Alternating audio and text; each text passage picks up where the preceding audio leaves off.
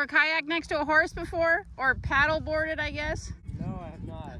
Either way, it's new.